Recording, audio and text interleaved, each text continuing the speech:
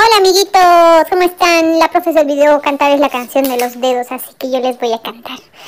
Este dedito compró un huevito, este dedito lo echó a cocer, este dedito le puso sal, este dedito lo revolvió y este gordo goloso se lo comió y este gordo goloso se lo comió. ¡Qué gordo más goloso! Este dedo traviesoso. Ahora sí, a practicar esta canción en sus casitas. Que tengan un bonito día. ¡Chao, chao!